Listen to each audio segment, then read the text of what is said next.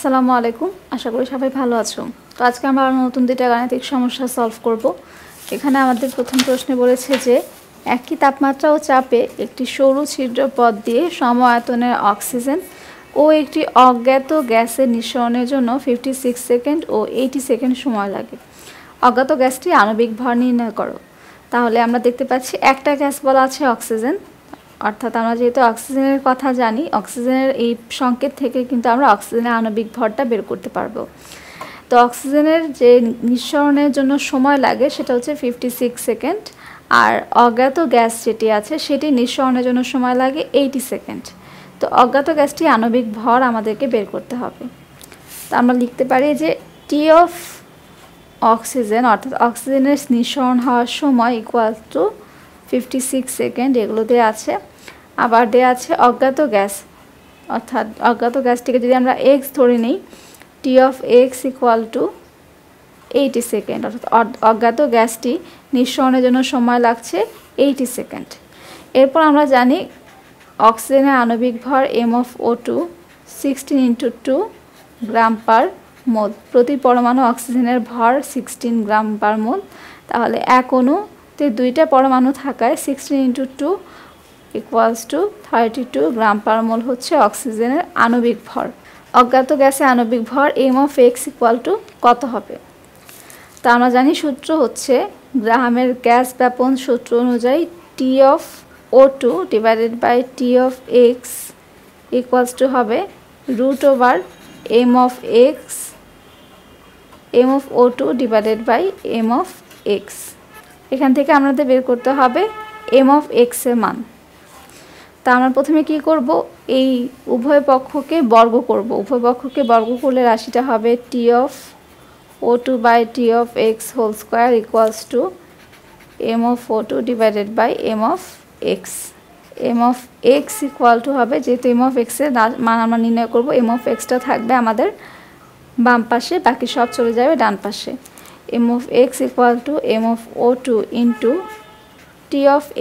into T of O two whole square T of X divided by T of O two whole square M of X equal to M of O টুর মান thirty two T of এক্সের মান এইটি second T of O টুর মান fifty six second অতএব sixty five point three zero six gram per mole এটা হচ্ছে আমাদের এই অঙ্কের সমাধান। অজ্ঞাত গ্যাসটির আণবিক ভর sixty five point three zero six gram per mole তো এখন আমরা যে দ্বিতীয় অঙ্কটা সেটা সেটা সলভ করব। দ্বিতীয় অঙ্কে আমাদের প্রশ্নে বলেছে, একই তাপমাত্রা এবং চাপে একটি সূক্ষ্ম ছিদ্র পথে ক্লোরিন এবং একটি অজ্ঞাত গ্যাস এর নিঃসরণ হার সেভেন ইস টু সিক্স হয়। অজ্ঞাত গ্যাসের আণবিক ভর কত হবে? তো আমরা যদি ক্লোরিনের যে নিঃসরণ হার সেটাকে প্রকাশ করি আর অফ সিএল টু দ্বারা এবং অজ্ঞাত গ্যাসের নিঃসরণ হারকে প্রকাশ করছি আর অফ এ দ্বারা। তো R of Cl two is to R of এর মান দেওয়া আছে সেভেন ইস টু সিক্স তারা এখান থেকে আমরা কম্পেয়ার করলে দেখতে পাচ্ছি যে ক্লোরিনের যে ব্যাপন হার, সেটা অপেক্ষা এ গ্যাসের ব্যাপন হার কম।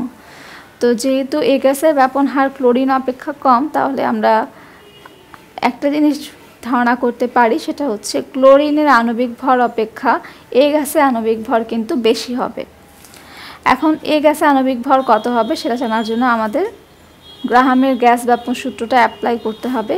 তার আগে আমরা ক্লোরিনের যে আণবিক ভর এম অফ সিএল টু সেটা লিখে নিচ্ছি। এক পরমাণুর ভর থার্টি ফাইভ পয়েন্ট ফাইভ তো এক, দুইটি অণু আছে, দুইটি পরমাণু আছে একটি অণুতে, তার thirty five point five into two gram per mole equals to seventy one gram per mole.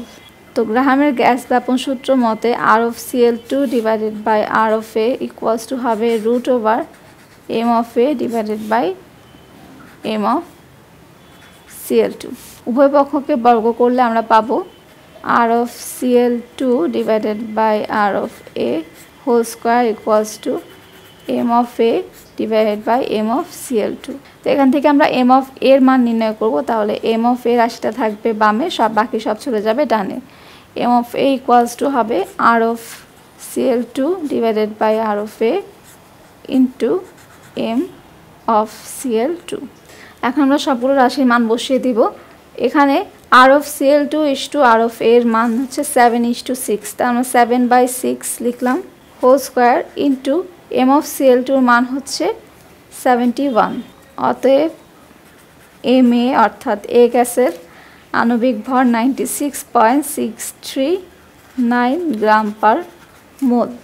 এটাই হচ্ছে আমাদের এই অঙ্কের সমাধান। অজ্ঞাত গ্যাস এর আণবিক ভর হচ্ছে ninety six point six three nine তো আমাদের আমাদের উত্তরটা সঠিক হয়েছে কিনা আমরা বুঝতে পারছি কীভাবে যে ক্লোরিনের ব্যাপন হার অপেক্ষা এই গ্যাসের ব্যাপন হার কম ছিল, তাই অবশ্যই ক্লোরিনের যে আণবিক ভর সেটা অপেক্ষা এ গ্যাসে আণবিক ভর বেশি হবে। তো ক্লোরিনের আণবিক ভর seventy one gram per mole তাহলে এ গ্যাসে আণবিক ভর সেভেন্টি ওয়ানের চেয়ে বেশি এসেছে ninety six point six three nine gram per mole তাহলে আমরা বুঝতে পারছি যে আমাদের অ্যান্সারটা সঠিক হয়েছে। তো আশা করি আজকে গাণিতিক সমস্যাগুলো সবাই বুঝতে পেরেছ। সবাইকে অসংখ্য ধন্যবাদ ভিডিওটি দেখার জন্য।